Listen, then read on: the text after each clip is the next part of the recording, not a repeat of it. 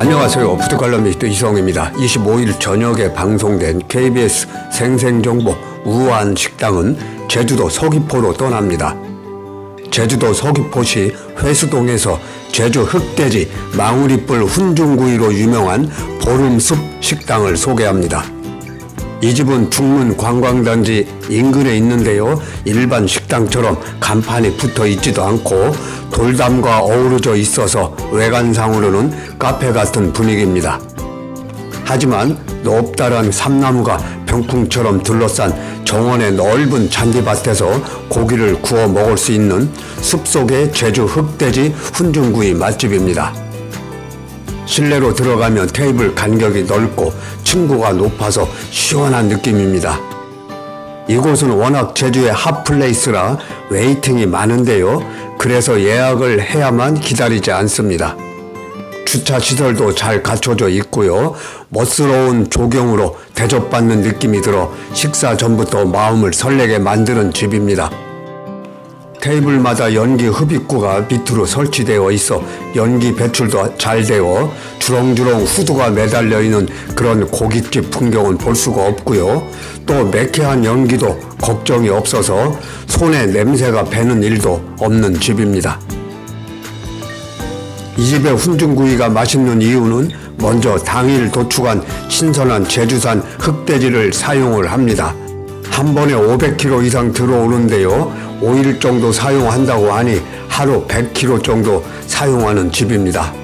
어마어마한 양인데요. 목살, 뼈목살, 오겹살, 가브리살 이런 고기가 들어오는데 숙성고에서 3일 숙성하고 다시 한번 매장 안에 있는 2차 숙성고에서 도합 15일간의 숙성을 시켜서 사용한다고 합니다.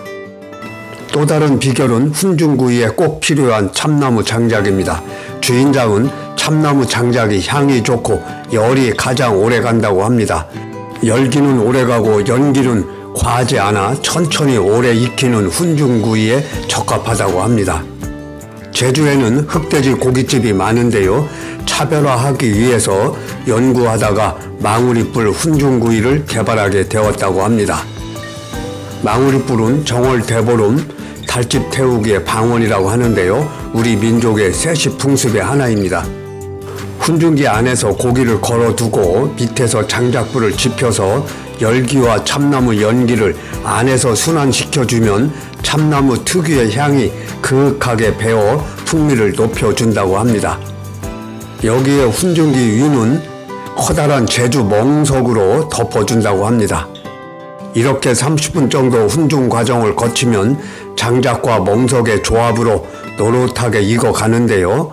기름기는 쏙 빠지고 육즙은 촉촉하게 스며들어 먹음직스럽게 70%의 초벌이 된다고 합니다. 훈중을 마친 고기는 열기를 식히는 단계를 거쳐 나머지 30%는 손님상에서 참나무 숯불로 익혀서 먹는다고 합니다.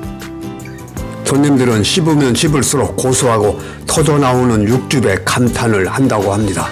여기에 이 집의 비장무기 열무 동치미 맛이 환상적이라고 합니다. 열무 동치미에는 특이하게 제주 감귤을 갈아서 들어간다고 하는데요. 어머니 손맛이 가득 담겨서 탄생한 망우리 훈중구이 한상입니다. 고기에 취하고 분위기에 취하는 낙과반이 아름다운 자연 속에서 낭만을 즐기며 참나무 불맛 입은 훈중구이를 맛보니 천국이 따로 없다고 합니다. 속세를 초월한 완벽한 고기입니다. 독특한 아이디어로 흑돼지 고기의 새 지평을 연 망우리뿔 훈중구이 제주에 가면 꼭 한번 드셔보시기를 추천드립니다. 구독과 좋아요 꼭 부탁드리겠습니다.